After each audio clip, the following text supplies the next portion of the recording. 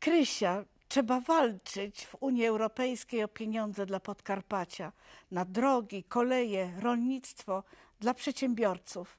Zadbaj o Podkarpacie w Brukseli. Ewa, zadbam o Podkarpacie. Proszę o Państwa głos 26 maja.